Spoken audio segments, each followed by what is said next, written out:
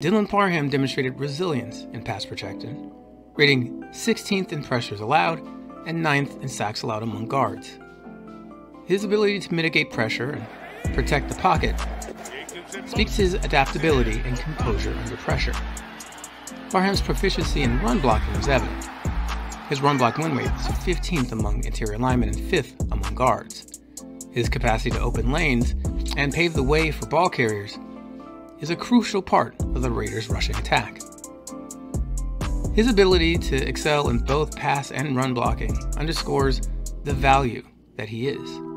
A third round gem from the University of Memphis in the 2022 draft, he's emerged as an indispensable pillar on the Raiders' offensive line.